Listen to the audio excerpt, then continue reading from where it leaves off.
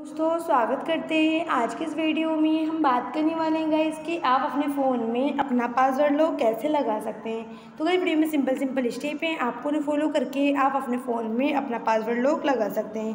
तो guys video की जानकारी के लिए वीडियो लास्ट ज़रूर देखना। आइए वीडियो शुरू करते हैं। वीडियो शुरू करने के लिए गाइस सबसे पहले हमें अपने फ़ोन में अपनी सेटिंग को ऑन करना होगा।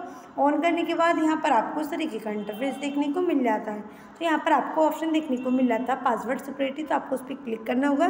क्लिक करने के बाद यहाँ पर आपको पासवर्ड फिंगरप्रिंट फेस अनलॉक कई सारे ऑप्शन देखने को मिल जाते हैं। तो गाइज़ हम अपने फ़ोन में अपना पैटर्न चेंज करके पासवर्ड लॉक लगाना चाहते हैं तो उसके लिए आपको पासवर्ड पे क्लिक करना होगा और अपना पैटर्न डाल देना। और यहाँ पर आपको पासवर्ड का ऑप्शन देखने को मिला था तो पासवर्ड पे क्लिक करना होगा और कुछ सेकंड वेट कर लेना है। वेट करने के बाद यहाँ पर आपको ऑप्शन देखने को मिला था गोट इट तो आपको गोट इट पे क्लिक करना होगा और अपना पासवर्ड यहाँ से सेट कर देना है इस तरीके से।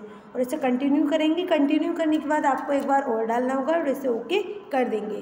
तो गए इस तरीके से आप अपने फ़ोन में अपना पासवर्ड लॉक लगा सकते हैं। तो गाइस वीडियो पसंद आई हो तो शेयर करें लाइक करें, चैनल पर नए हो तो चैनल को सब्सक्राइब करें।